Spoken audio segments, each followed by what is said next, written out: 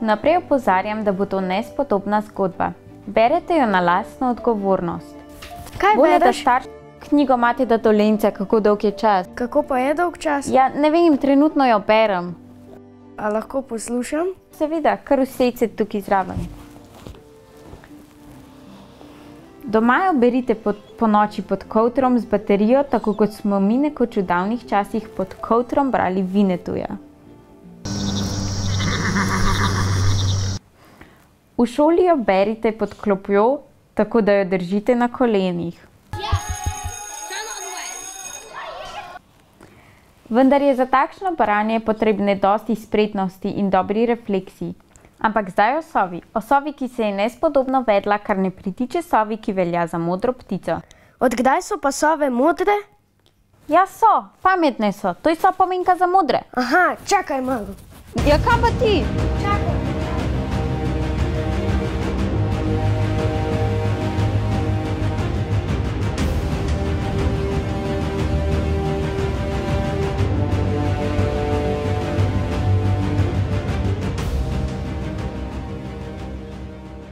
Evo ti modre sove. Dejno, jaz, jaz zares nisem mislila tako. Povedala sem ti, sove so modre kot pametne. Poslušale bojo. Resno. Ja, desno, ja. Kdo si rekla, da je to napisal? Mate tole in tak ful kot pisatelj, živi na robu gozda, pa potaplja se, pa ful mara živali. Wow. Čak, dej ti bom pokazala, no.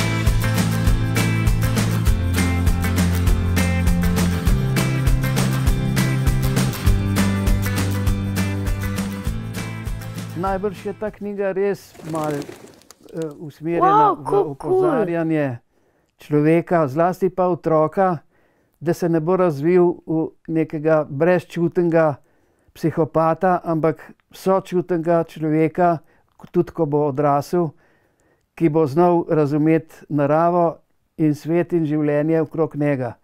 Skratka, nekaj bi rad dal otroku, ne samo zabavo, pa tudi ne ravno poduk, da bi bil prav poučen. Literatura pač to nudi in jaz sem si to zbral za moj, moj metje, eh, opozarjanje otrok na življenjske resničnosti. Stani, bari, bul, klarinet imaš. O, hvala. Počakaj me do večera, prav, ampak res počakaj.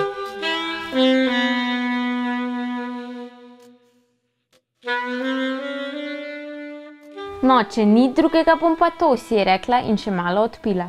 Seveda ni imela pojma, da je Zakaj kupila. pa bereš brez mene? Saj sva rekla, da me počakaš. Bolje je zanimivo, pa se nisem toliko Saj prebrala. sem ti rekel, da Ja, sem- lej, no, se ti, se ti bom povedala. Lej, v bistvu se ni zgodil veliko, da je vse se pa ti lahko povem. Nikjer ni bilo noč hrane, ker je bilo v gozdu pol težko najti hrano. In na koncu je na nekem parkirišču v košu našla smeti in zraven njega Jaz sem tudi lačen. Dobro, no, pa pa greva jesti.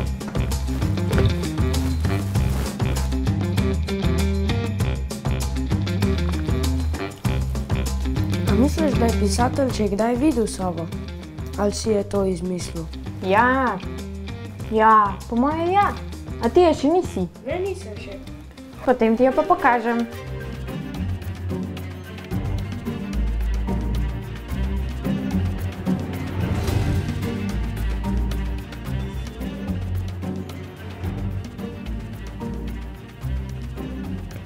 O, poglej!